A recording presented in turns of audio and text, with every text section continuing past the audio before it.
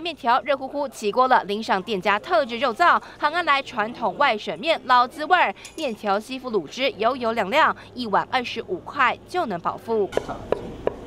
卤肉、卤大肠，还有店里招牌腌泡菜，更是开胃。彰化西周巷子里的隐藏版铜板美食，还有这一间开了二十多年的手工马吉，包裹花生、芝麻，外头再滚上一层花生糖粉，铜板价美味，更要填饱三号造势晚会上上万名韩粉的胃。今天呢，听说韩国瑜要来，你觉得这样有没有对你们比较好？就是外面的人，希望希望是会对我们比较好。造势晚会地点就选在彰化西州，虽然场地不算太大，两千五百平空地，现场将摆放四千张座椅，大约能容纳一万人进场。欢迎啊，那个韩主委跟我们的吴主席，那也希望从西州出发。